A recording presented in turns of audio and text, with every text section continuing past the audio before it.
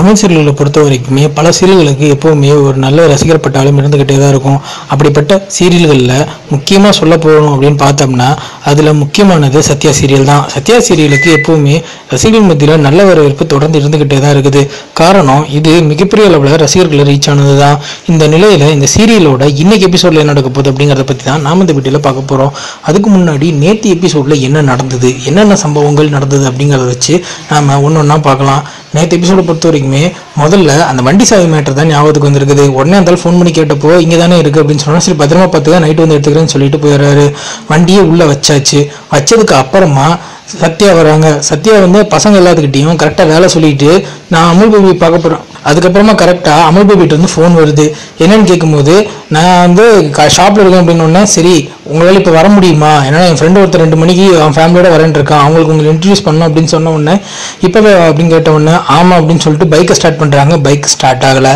அதுக்கப்புறமா என்ன நடக்குது அப்படின்னு பார்த்தோம்னா ஸ்கூட்டி ஆக்டிவாக ட்ரை பண்ணுறாங்க சரி இது யாருன்னு கேட்கும்போது இந்த மாதிரி வச்சுட்டு போயிருக்காங்க அப்படின்னு உடனே சரி நான் போயிட்டு பக்கத்தில் தானே வந்துடுவேன் அவர் நைட்டு தானே வருவார் பிரச்சனை இல்லைன்னு சொல்லிட்டு இவங்களும் வண்டி எடுத்துட்டு கிளம்புறாங்க. போகும்போது போலீஸ் செக்கிங் நடந்துட்டு இருக்குது. ஏற்கனவே கஞ்சா செக்கிங் தான் போயிட்டு இருக்குது. ஸோ நடந்த உடனே இவங்க கஞ்சா வச்சிருந்து மாட்டிக்கிட்டாங்க. அதுக்கப்புறம் ஸ்டேஷனில் கூட்டு போய் வச்சதுக்கு அப்புறமா அங்கேருந்து ஃபோன் பண்ண ட்ரை பண்ணுறாங்க ஃபர்ஸ்ட் அமுல் பேபிக்கு ட்ரை பண்ணா அவர் ஃபோன் காலில் பிஸியாக இருக்கிறாரு. திவ்யாவுக்கு ட்ரை பண்ணா திவ்யாவுக்கு ஃபோனு எடுக்கவே மாட்டேங்குது. எடுத்தாலும் உடனே அவங்க ஜெயிலில் இருக்கான் அப்படின்னு சொன்ன உடனே கேட்கல கேட்கல அப்படின்னு சொல்லி அவங்கள ஜெயிலில் தள்ளுற கேக் ஃபுல்லாக பிளான் பண்ணி வச்சுட்டாங்க. அதுக்கப்புறமா அவங்களுக்கு என்ன பண்ணுறது தெரியல. போலீஸ்காரரும் இவங்க பண்ணுறதை பார்த்துட்டு ஃபோனை வாங்கி சுவிட்ச் ஆஃப் பண்ணி வச்சு இவங்களை ஜெயிலில் அடைச்சிட்டாங்க. ஸோ இவங்களுக்கு என்ன பண்ணுறதுன்னு தெரியல. இங்கே வீட்டில் ஒரே குழப்பமா இருந்தது. அப்போ தான் கரெக்டாக திவ்யா என்ன பண்ணுறாங்கன்னா அந்த வாய்ஸ் ரெக்கார்டு எடுத்துகிட்டு போய் அனிதா கிட்டேயும் அவங்களோட சித்தப்பா கிட்டேயும் போட்டு காட்டுறாங்க. அதோட தான் எபிசோடு முடிஞ்சுது. ஸோ இன்னைக்கு எபிசோடு என்ன நடக்க போகுது அப்படிங்கிறத பார்க்கலாம். எபிசோடோட ஓப்பனிங்ல என்ன நடக்குதுன்னா அந்த ஆடியோ ரெக்கார்டை எடுத்து காட்டுறாங்க. அந்த ரெக்கார்டை கேட்டுட்டு சந்தோஷப்பட்டுட்டு இனி கவலை இல்லை. நம்ம பக்கம் தான் நியாயம் வர ஆரம்பிச்சிருக்குது. நமக்கு இன்னைக்கு நல்லது தான் அவள் எப்படி உள்ளே போனாலோ அப்படியே மாட்டிக்குவா வெளியே வரவே கூடாது. அதுக்கு என்ன பண்ணலாம்னு யோசிக்கும் போது அந்த இன்ஸ்பெக்டர் எனக்கு தெரிஞ்சால் தான் காசுக்கு நல்லா படியக்கூடிய ஆள். நான் பேசிக்கிறேன் அப்படின்னு சொல்லிட்டு அவருக்கு ஃபோன் பண்ணி பேசினதுக்கு அப்புறமா ரைட்டு இனிமேல் சத்யா வெளியவே வரமாட்டா அப்படிங்கிற மாதிரி முடிவில் பிரபுவோட சித்தப்பா இருக்கிறாரு. ஸோ இப்படி ஒரு பிரச்சனை போய்கிட்டு இருக்குது. வெளியே வீரசிங்கம் இருக்கிறாரு. அனிதா கிட்ட உள்ள என்ன நடந்தது அப்படின்னு கேட்கும்போது அனிதா அதை பற்றி ஒரு போட்டு கூட வாயை திறக்கவே இல்லை. என்ன சம்பவம்? ஏது சம்பவம்னு ஒரு விஷயமும் தெரியவே இல்லை. அதுக்கப்புறமா சரி வந்தவன் வேலை என்ன? இந்த வீட்டில் இருக்கிறது திங்கிறது தானே போய் தின்னு போ அப்படின்னு சொல்லி அனுப்பி வச்சிடுறாங்க.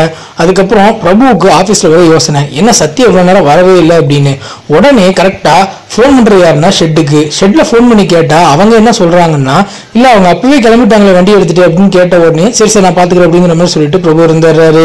இந்த பக்கம் வீட்டுக்கு வந்தால் வீட்டில் எல்லாருக்குமே ஒரே சர்ப்ரைஸு ஏன்னா பிரபு வந்திருக்கான் ஆனால் சத்யா இல்லை. சத்யா வெளியே போனது எல்லாத்துக்கும் நல்லா தெரியும். சத்யா வைக்கணும் சத்யா வைக்கணும்னு சொல்லி எல்லாருமே பயங்கரமாக ஃபீல் பண்ணிக்கிட்டு இருக்கிறாங்க அப்போ தான் பிரபு எங்கூட இல்லை அப்படின்னு சொல்கிறாங்க இதை கேட்டுட்டு அவங்க மாமியாருக்கும் ஒரே சங்கடமாக இருக்குது. ஸோ அதனால் மறுபடியும் நீ ட்ரை பண்ணணும்னா ஃபோன் பண்ணி பார்த்தா ஸ்விட்ச் ஆஃப்னு வருது. அதுக்கப்புறம் எனக்கு தான் ஃபோன் பண்ணால் ஆனால் சிக்னல் சரியாக கிடைக்காதனால எதுவுமே எனக்கு கேட்கல அப்படின்னு சொல்கிறா அதுக்கப்புறம் ஃபோன் பண்ணால் எடுக்கல அப்படிங்கிறதையும் சொல்கிறா இதை கேட்டுட்டு அப்புறம் என்ன நடந்தது அப்படின்னு பார்த்தோம்னா என்னோட தங்கச்சி பாவம் அப்படின்னு சொல்லி பயங்கரமாக நடிப்பு விட ஆரம்பிக்கிறாங்க. அப்படியே நடித்து நல்லவ மாதிரியே வேஷம் போட்டு இந்த குடும்பத்தோட குடும்பமாக ஐக்கியம் ஆயிடலாம் அப்படிங்கிற மாதிரியான ஒரு பிளான்ல தான் இவங்க இருந்துகிட்டு இருக்கிறாங்க. ஸோ இப்போ தான் சத்யாவுக்கு பிரச்சனை ஆரம்பிச்சிருக்குங்கிறது ரொம்ப நல்லாவே தெரிய வருது. எப்படி இருந்தாலும் சத்யாவை வெளியெடுக்கிறதுக்கான முயற்சிகள் எடுக்கப்படும். அது மட்டும் இல்லாமல் சத்யா எங்கே போனாங்க? அவங்களுக்கு என்ன நடந்தது மாதிரியான எல்லா சம்பவங்களையுமே இவங்க தொடர்ந்து காட்டுவாங்கன்னும் அதன் மூலமா இவங்க தப்பிக்கிறதுக்கு நிறைய வாய்ப்பு இருக்குன்னு சொல்லியிருக்கிறாங்க. ஸோ வேற ஏதாவது வழியில பிரபுவுக்கு இந்த விஷயத்தை தெரியப்படுத்த முடியும் அப்படிங்கிறதும் சொல்லப்பட்டிருக்குது. ஸோ அது எல்லாத்தையும் நம்ம கொஞ்சம் பொறுமையாக தான் பார்க்கணும்.